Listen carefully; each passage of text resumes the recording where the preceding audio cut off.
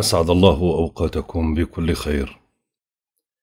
آه، متابعيني الكرام آه، اليوم إحنا رح نحكي عن توقعات شهر واحد 2020 رح نبدأ بحركة الكواكب ونعرف الكواكب هاي وين موجودة وبدنا نحكي عن الزوايا الخطرة خلال هذا الشهر. رح نحكي عن التوقعات اللي هي أول عشرين يوم وبعدين انتقال الشمس. العشرين يوم الثانيات يعني هسه الشمس موجودة بالجدي. وبعدين راح تنتقل للدلو فراح نحكي عن المرحلتين هذولا إيش اللي راح يتأثر منها البرج الشمس في الجدي آه، من يوم 22 12 2019 لغاية 20 واحد. عطارد في برج الجدي لغاية مساء يوم 16 وبعدها بنتقل للدلو. الزهرة في الدلو وبنتقل مساء يوم 13 للحوت. المريخ في العقرب وبينتقل ظهر يوم ثلاثة واحد بعدها للقوس. المشتري في الجدي وزحل في الجدي. أورانوس ما زال بيتراجع في عملية تراجع في برج الثور لغاية فجر يوم 11 واحد. نبتون في برج الحوت وبلوتو في برج الجدي. بالنسبة للزوايا الخطرة أو المؤثرة خلال هذا الشهر اللي بتبلش طبعا قبل بثلاث أيام من تكوينها وفي آه، زوايا راح تتأثر قبل تقريبا بأسبوعين أو ثلاثة يعني آثارها بلشت تبين وفي أشياء بلشت آثارها تبين من خلال نهاية شهر 12 أو منتصف شهر 12 الزوايا هاي عنا يوم 12 واحد بيقترن عطارد آه، مع زحل. ومع بلوتو.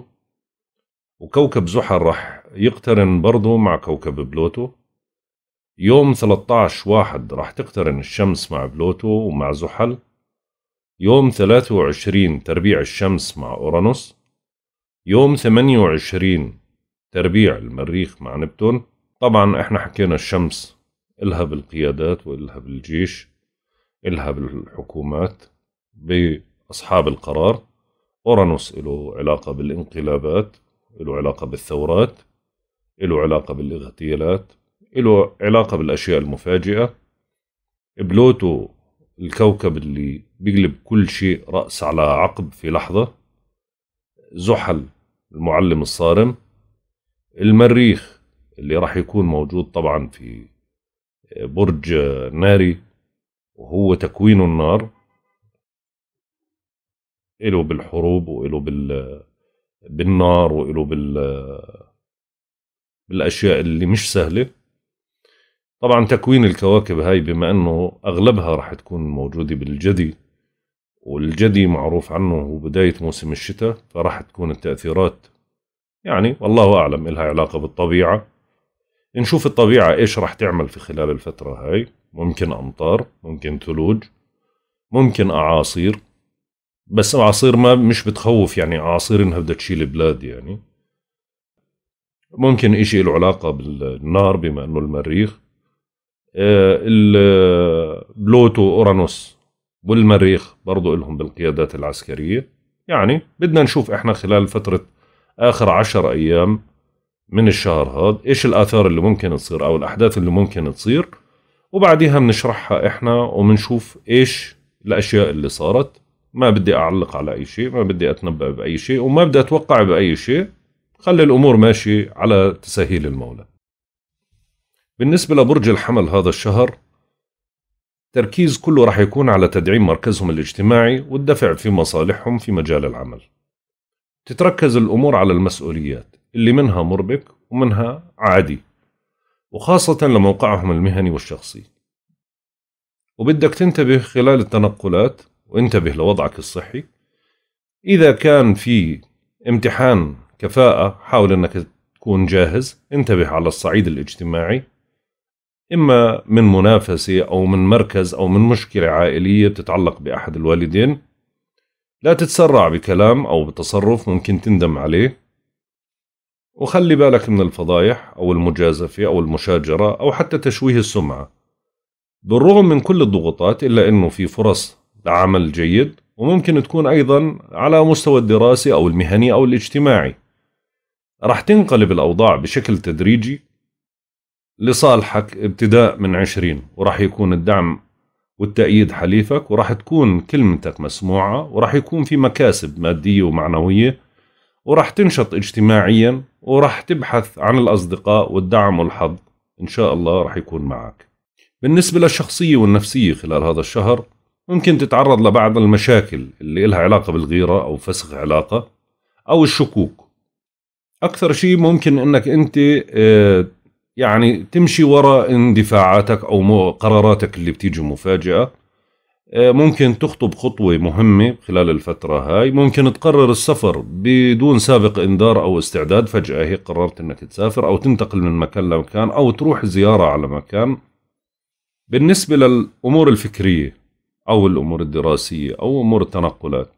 بما أنه المريخ دخل على بيت السفر فأكيد راح يكون في تفكير بالسفر أو طروحات لسفر أو اتصالات مع جهات أجنبية أو أكاديميات دراسية أو إشي له علاقة بدراسة شيء جديد أو يعني شيء له في المجالات التعليمية أو المجالات اللي لها علاقة بالسفر أو الأشياء اللي لها علاقة بالرسائل أو الأمور هاي. بالنسبة للمال والعمل طبعا معروف أنه يعني آه، بما أنه الشمس موجودة في البيت العاشر ممكن إنك تحصل على المال بدعم من أصدقاء أو مساندة من أشخاص إلى تعرفهم أنت لك علاقة فيهم. ممكن تحصل على ترقية أو منصب أو سلطة. ممكن تحظى بثقة واحترام وتقدير لاخرين وممكن تسمع خبر منيح يعني راح يكون بالنسبة لوضعك المادي. هاي الفترة مناسبة آه، للتواصل مع أشخاص ذو نفوذ. في فترات راح تمر عليك خلال الشهر هذا يعني شوي بتكون كسلان. يعني ممكن تهمل شغلك أو تهمل واجب من عليك أو على مشروع معين. هذا الإشي ممكن يعرض سمعتك شوي آه، لنوع من أنواع الشبهة. يعني عليك إنك أنت أول إشي تتحلى بالصبر وعليك إنك أنت ما تهمل الأمور هاي. أهم نقطة أنك أنت بتميل للتحديات بتميل للأشياء أنك تثبت قدراتك خلال الفترة هاي تثبت للجميع إنه أنت ممكن إنك تعمل شيء أو تحقق شيء بخلال الفترة هاي. فهاي نوع من أنواع الصفة الموجودة في الحمل إنه بحب التحديات فهاي الفترة راح تكون بأوجها. بالنسبة للوضع الاجتماعي حكينا آه، الوضع الاجتماعي الأصدقاء والمعارف هم اللي ممكن يدعموك في في الفترة اللي إحنا مقدمين عليها هاي. وممكن إنك أنت تحصل على عمل من وراء دعمهم أو تأييدهم أو إشارتهم للموضوع هذا. ممكن تتعرف على أصدقاء جدد. ممكن تتلقى أخبار سارة عن أصدقاء يعني هدول مش موجودين في المكان اللي أنت فيه أو في مكان بعيد. أو تعمل مشاريع جديدة أو لقاءات فكرية مع أصدقاء. يعني بس شوي حديتك وعصبيتك ممكن شوي تعمل نوع من أنواع الاضطراب في العلاقات الاجتماعية وصداقاتك. حاول إنك أنت تضبط أعصابك. بالنسبة لتأثيرات الكواكب المريخ بحذر من السفر لبعيد. بدكم تنتبهوا وبدكم تتجنبوا قضايا قضائية. المشتري بيحمل بشرة لمواليد الحمل في مجال العمل ومركزهم الاجتماعي. ومنهم ممكن يعثر على عمل جديد. أو يرتقي إلى منصب أعلى وبنجحوا بدفع مصالحهم وبدعم من علاقاتهم برؤسائهم أو زملائهم آه، في مجال العمل. زحل تتركز متاعبه على آه، مجال العمل والعلاقة بالمسؤولين. يعني شوي ممكن يعمل نوع من أنواع الإحباط أو التكاسل. أورانوس بيعمل على تغيير مالي آه، غير مستقر. يعني تغيير بشكل مفاجئ من حال لحل يعني يا ثراء يا فقر يا يا إنه معك كثير يا إنه ما معك فجأة بتصير الأمور بالشكل هذا. بالنسبة لبلوتو برضه بركز على العلاقة مع المسؤولين ممكن تصير مشادات بينك وبين مسؤول أو بينك وبين موظف مسؤول عنك. حاول أنك تضبط أعصابك من كررناها أكثر من مرة ضبط الأعصاب. دلالة عنه الفترة هاي أنت راح تكون مشحون بطاقة آه، عصبية. نبتون علاقاتهم برضو بالمؤسسات و... أو مع شركة كبيرة. طبعا هيك بنقدر نحكي إنه إحنا أنهينا توقعاتنا لهذا الشهر. بتمنى إنها تنال إعجابكم. بتمنى الإشي اللي منيح اللي يصير اللي مش منيح ما يصير. وإحنا بنتوقع كل هاي توقعات. ما في إشي إجباري إنه يجبرها على إنها تصير لأنه إنه إحنا مش منزلين. ولا يعلم الغيب إلا الله. إحنا بنطلع على جزء من بعض الأشياء المغيبة نسبيا وبنحكي عنها. ولكن نجتهد في النهاية. والله أعلم. يا رضا الله ورضا الوالدين. سبحانك اللهم بحمدك أستغفرك وأتوب إليك. سلام.